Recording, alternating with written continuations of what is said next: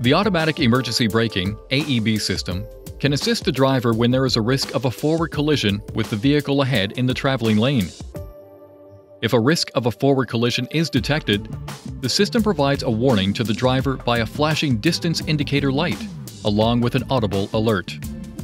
The AEB system uses a radar sensor located on the front of the vehicle to measure the distance to the vehicle ahead in the same lane and operates at speeds above approximately 5 kilometers per hour. If the driver applies the brakes quickly after the warning, and the system detects that there is still the possibility of a forward collision, the system will automatically increase the braking force. If the driver does not take action, the automatic emergency braking system issues the second visual and audible warnings and also applies partial braking. If the risk of a collision with the vehicle ahead becomes imminent, the system applies harder braking automatically. Depending upon the circumstances of the situation, the system may not eliminate the possibility of a collision, but may reduce the severity of a collision.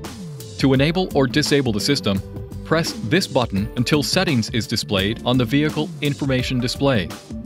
Use the up and down arrow button to select driver assistance and press enter. Select driving aids, then press enter.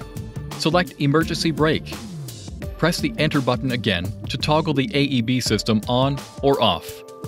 Please see your owner's manual for important safety information, system limitations, and additional operating and feature information.